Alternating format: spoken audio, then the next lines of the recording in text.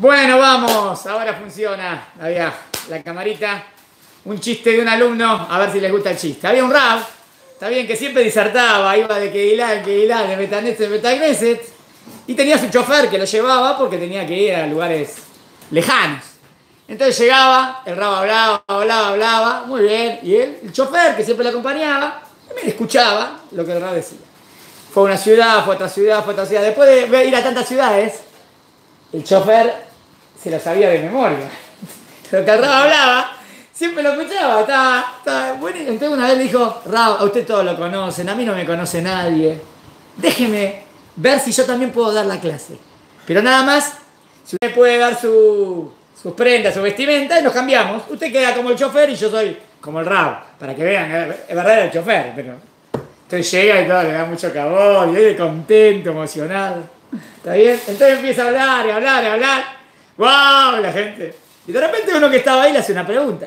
Y dice, Rap, pero lo que usted está diciendo no contradice este punto. Y, y era el chofer, ¿no? Y se queda ahí pensando y dice, ¡ay! ¿qué? no sabía cómo salir. Entonces dice, después de un poquito dice, la pregunta de usted es muy simple. Hasta mi chofer se la puede contestar. Pregúntenle a mi chofer lo que... Está bueno, está bien, está bien, chistecito. Zafó.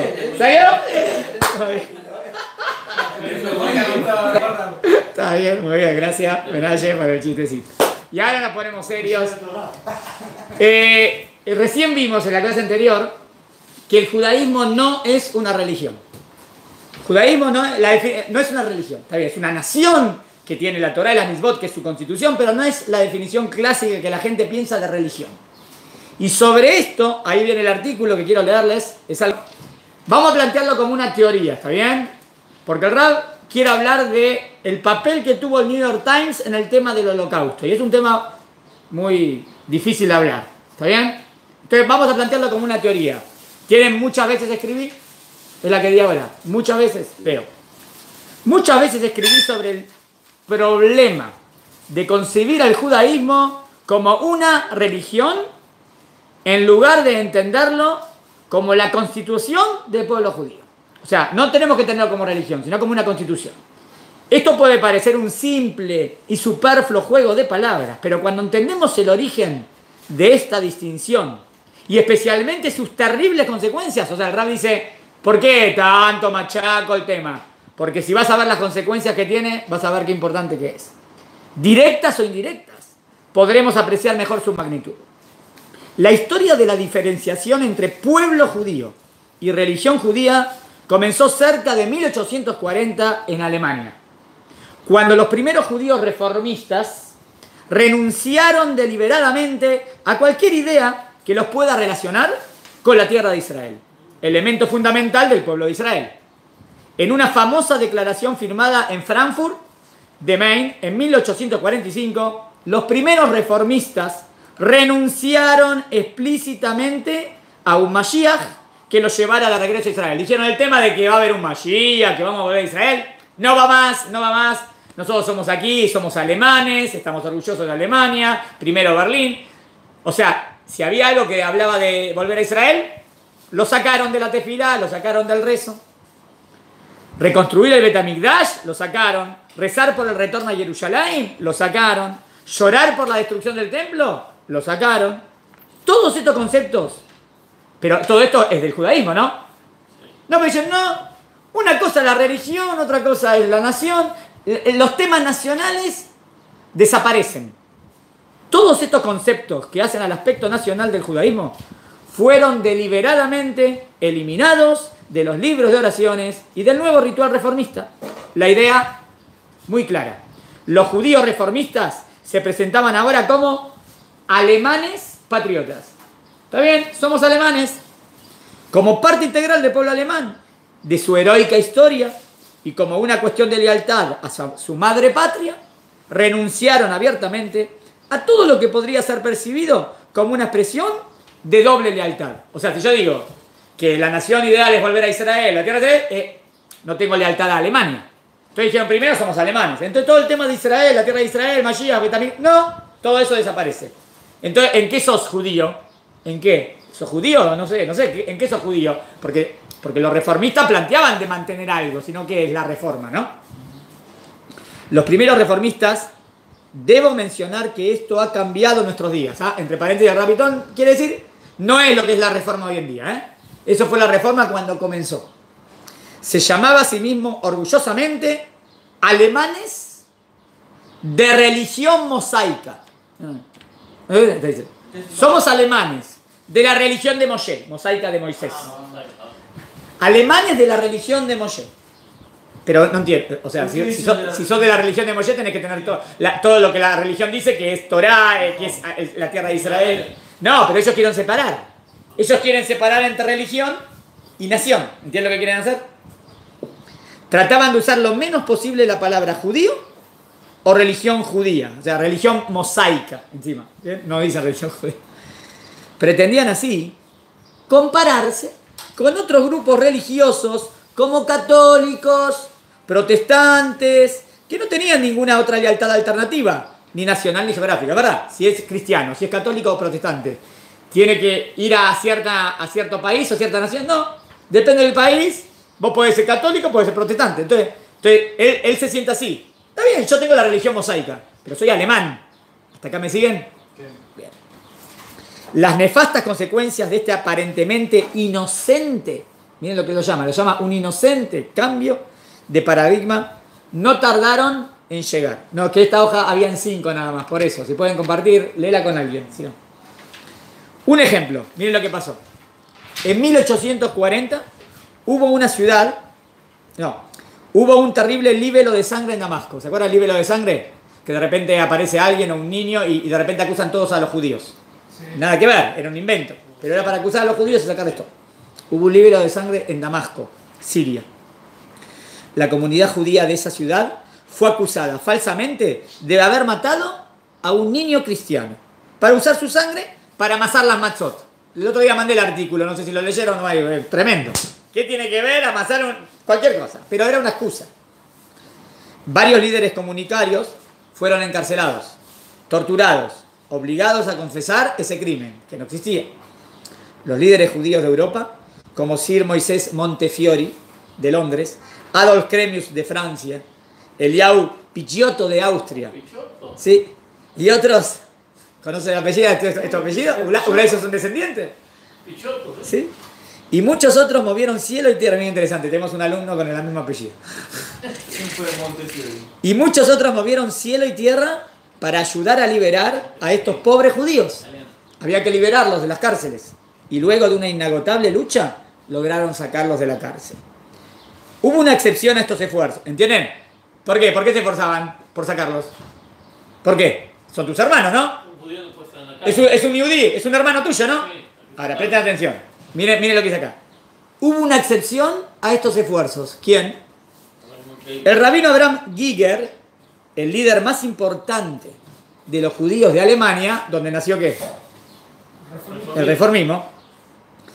Giger considerado por muchos historiadores como el fundador del movimiento reformista, se negó a ayudar a esos judíos. ¿Estamos todos locos? ¿Por qué? Porque no tenía nada en común con esos árabes. ¿Qué árabes? ¿Qué árabes? Si son judíos. ¿Entienden? ¿Por qué dijo esos árabes? ¿Dónde viven? En Turquía. Ah, si viven en Turquía son árabes. No, no, son judíos. No, no, no, una cosa es nación y otra cosa es religión. Yo soy alemán, alemán que tengo. Pero él, eh, eh, él es uno que vive en Turquía. ¿Entienden? O sea, no ve, ¿qué no ve la, no ve la relación de hermandad de Amisrael? ¿Me siguieron? ¿Pero por qué? Ahora voy a explicar por qué. Esto no tenía nada que ver con Sefaradí, Ashkenazi. Giger o Geiger se veía a sí mismo como perteneciente al pueblo alemán. Y para él, en consecuencia, no existía vínculo nacional o emocional con ningún otro judío fuera de Alemania. O sea, si hay un vínculo emocional va a ser con alguien de Alemania. ¿Pero por qué? Porque soy alemán. ¿Qué tengo la, la religión mosaica? Pero porque soy alemán. ¿Entendieron? El hecho de esos sirios, que no era Turquía, era Siria, perdón. Pero no eran sirios, eran judíos que vivían en Siria. Él los llama sirios. El hecho de esos sirios practicasen el mismo credo que él era totalmente circunstancial secundario. ¿Entienden? O sea, él es un sirio que también practica la religión judía. Y yo soy alemán que practico, pero de casualidad, yo soy el primer alemán, eso la religión judía no, no me une en nada. ¿Entendieron? Es como un alemán, eh, no sé, o, como un austríaco eh, cristiano y un, eh, yo qué sé, uno que vive en Sudáfrica cristiano. ¿Y qué tiene que ver? Es un sudafricano. Yo, seré cristiano y él será cristiano, pero ¿qué tiene que ¿Entienden? Lo ve así. Pero nada que ver. Giger o Geiger no les debía nada. Geiger seguramente no fue el primer judío que se negó a ayudar a otros judíos. Pero hasta donde yo sé, dice el Rab, fue el primero en utilizar este nuevo argumento. Por primera vez alguien que no ayuda y utiliza este argumento. La renuncia a la idea de pueblo judío para desasociarse de la tierra y para desasociarse del pueblo de Israel. ¿Entendieron? Utiliza este punto y justificar así su falta de acción, apatía e indiferencia hacia otros judíos. Es muy fuerte lo que está diciendo acá el Rapitón, ¿eh? reconozco. ¿eh? Ahora, todavía no entró en el tema del holocausto, ahora va a entrar en el tema del holocausto que no, no saben por dónde va a salir. Todos en pos de ser percibido como un ciudadano alemán, ejemplar y patriota. Pero ¿qué tiene que ver esto con la Shoah y con el New York Times? Lamentablemente muchísimo. Ahora va. Y les anticipo que esta dolorosa historia no es muy conocida. O sea, que, o sea acá el Rab está tirando una bomba, algo nuevo, revolucionario. Especialmente fuera de los Estados Unidos. Es menos conocida, fuera. O sea que en Estados Unidos está. Pero es una lección muy importante y creo que relevante para nuestros días. Donde la información y la desinformación tiene tanto poder. La información tiene poder y, y los que no están informados también. Veamos. Entre 1939 y 1945 había alrededor de 5 millones de judíos viviendo en los Estados Unidos. Muchos de ellos muy influyentes en el gobierno, en la cultura del país. Sin embargo, fue muy poco lo que los judíos norteamericanos hicieron para influir en Roosevelt. Para, tienen influencia. Tenían, era, había gente millonaria. ¿Por qué no influenciaron en Roosevelt y salvar así a sus hermanos de Europa? Era lo más lógico, porque todos los judíos siempre queremos salvar a nuestros hermanos judíos. ¿Entendieron la pregunta de él? ¿Cómo puede ser que no pasó? Cuando, cuando esto más lo necesitaban, los judíos de Europa pedían desesperadamente que el ejército norteamericano bombardee las vías de los trenes que llevaban a millones de judíos a la muerte. ¿Qué bombardeen? La famosa pregunta, ¿por qué no bombardearon los trenes? O incluso que bombardearan los campos de concentración. Y como sabemos, eso nunca pasó hasta que fue demasiado tarde. ¿Pero por qué? Acá viene la teoría. ¿eh? Una de las razones que explica esta tremenda inacción es que la gran mayoría de los judíos y los no judíos norteamericanos, como lo admitió el propio Eisenhower, no sabía lo que estaba pasando en Europa. No tenían idea de la magnitud de la masacre que se estaba llevando a cabo. La pregunta de, todo, de ustedes es qué tendría que ser. Ah, no puede ser. ¿Cómo puede ser que no se sabía? Cosas tan grandes, no se sabían. ¿Cómo? Pero no entiendo, ¿cómo no se sabía? Claro, hoy pero nosotros tenemos que meternos en el pasado, hoy porque ya sabemos, por la vez porque... Hoy día tenemos pero, la comunicación abierta. Claro, antes no, no era así, no era así, no sabían. Pero ¿cómo puede ser? ¿Pero por qué? Y aquí vi el libro que lo escribió esto. ¿eh? Un libro relativamente nuevo, by, by the Times, de Laura Sleff, lo explica. En ese libro, Lev concluye que el responsable número uno de esta deliberada desinformación, o sea, ¿por qué Estados Unidos no sabía? Fue uno de los hombres más influyentes en Estados Unidos en esa época. ¿Quién era? Arthur Hay Salzberger, el editor en jefe y dueño del New York Times. Su familia aún sigue al frente de ese diario, el periódico más importante del mundo. Ahora no entiendo, ¿y? Pero no termino acá. Estoy bien, estoy bien en horario, puedo, tengo, ¿no? Vamos, vamos rápido. Eh, oh, él sabía qué. Él sabía lo que estaba pasando mal en Europa. Y es, entonces, ¿cómo puede ser que el mundo no se enteró? O sea, ¿cómo los norteamericanos no se enteraron? Ah, pero, pero ¿por qué vas a esconder todo? Acá viene la pregunta. Pero si hay judíos tan, tan influyentes Ahora, ahora van a ver quién es el director. Esto no lo van a creer, ¿eh? Espérenme. No me digas. No Esperen, no lo van a creer. No me digas. No, por- pasen rápido la hojita. Pasen la hojita. Por esto dije que es muy duro esto que. Sigo, digo, sigo, bueno. Sigo, hablo, hablo, hablo, hablo. Deja, deja, voy rápido, voy rápido.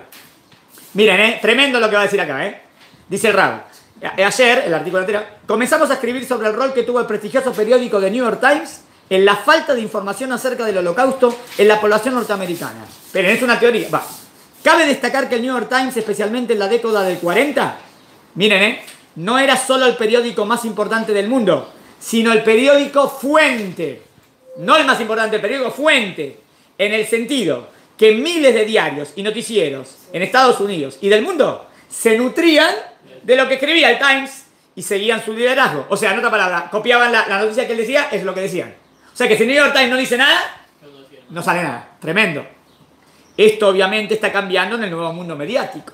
A continuación veremos algunos ejemplos que ilustran la actitud tendenciosa del New York Times al reportar las atrocidades que estaban ocurriendo en Europa. Dice que fue tendencioso. Vamos a ver. Reporta lo que pasa. Un artículo del New York Times el 2 de julio del no- 42 reporta el asesinato de 700.000 judíos. No entiendo, esto es contradictorio a lo que estamos diciendo, ¿no? Reportan que murieron 70.000 judíos, una quinta parte de toda la población judía de Polonia. Incluso menciona campos de concentración y cámaras de gas. No entiendo nada ya, ¿no? Ustedes tampoco, ¿no? Pero el artículo dice, niños en orfanatos, ancianos en hospicios, enfermos en hospitales y mujeres fueron asesinados en las calles. En muchos lugares los judíos fueron detenidos, deportados a destinos no revelados o masacrados en bosques cercanos. El, artículo continúa enumerando cuántos judíos habían sido asesinados en cada provincia. Y luego dice que la masacre aún continúa en Lvov. Este relato es típico, la información es objetiva, detallada, incluso contemporánea. Sin embargo, el público estadounidense... Si salió la noticia, ¿cómo nos entonaron? Ahí va. El público estadounidense desconocía en gran medida la magnitud de lo que estaba pasando. Entonces, eso genera dos preguntas, dice Rab. Una, ¿cómo sucedió esto? Dos, ¿por qué sucedió esto? ¿Entendieron las dos preguntas? ¿Cómo sucedió que no se informó el- la población de lo que estaba pasando? Si recién acabamos de ver un artículo que parece que el New York Times sí lo dice. Segundo, ¿por qué? Ahí va. ¿Cómo? La respuesta es que este artículo fue enterrado en el medio del periódico. Presta atención, este artículo es, es la noticia, ¿no? Es el... Ah, estaba enterrado en el medio del periódico. El artículo del 2 de julio del 42 apareció en la página 6 bajo un pequeño subtítulo reservado para material sin importancia. ¿Cómo, cómo, cómo entienden eso? Quería pasar desapercibido. Claro, o sea, quieren no quieren ser como los malvados que no lo van a informar, pero lo meten tan chiquito, tan chiquito, tan chiquito que nadie lo leyó. En las letritas ahí, chiquititas, ¿vieron como la letra de farmacia? Para no darle importancia. Miren, otro artículo del 27 de junio del 42 que describe la, ma- la misma masacre como probablemente la mayor matanza masiva en la historia, estaba en la página 5 sin ningún título. ¿Cómo entienden esto? No, no se entiende, ¿no? Parece que es adrede, ¿no? Ahí va. ¿Por qué? Esta tendenciosa minimización no ocurrió porque la portada del periódico estaba llena de noticias trascendentales. Entonces, ¿qué sería interesante ahora ver, no? Pará, ¿por qué esa, noticia que es tan importante la ponen metida en el medio? Ah, debe ser que habrá pasado en Estados Unidos algo muy importante ese día y por eso salió ahí. ¿Qué vamos a ver? ¿Cuál fue la portada? ¿Cuál fue la portada de ese día? El día en que apareció esta terrible historia en el New York Times, la primera página presentaba artículos sobre zapatillas de tenis y fruta enlatada. ¿Qué quiere decir? Que no había ninguna noticia importante por dar. Entonces, ¿cómo puede ser que esta noticia está escondida? Ahí va. Entonces nos preguntamos nuevamente, ¿por qué el director del New York Times toma esta decisión de hacer esto, no? O los que manejan el New York Times. La respuesta es, Arthur Say Sulzberger, Sulzberger era el dueño y editor del New York Times. Y lo que lo hace, y lo que lo hace, que lo que hizo fue tan sorprendente, más pregunta, es que Salzberger era judío. No, este es el colmo. ¿En serio? ¿Cómo puede ser? Sí, Esto es- obviamente. no se puede creer, ¿no?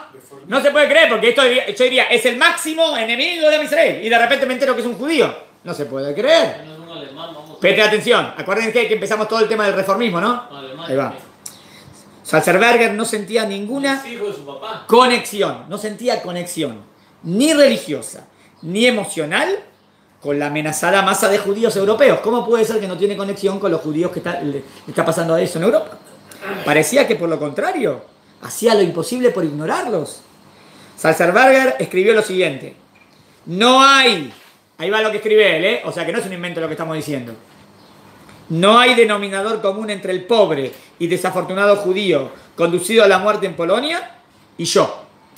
¿Cómo no hay nada en común? Ciertamente en Polonia ese judío es parte de una minoría perseguida. No, es judío, es tu hermano.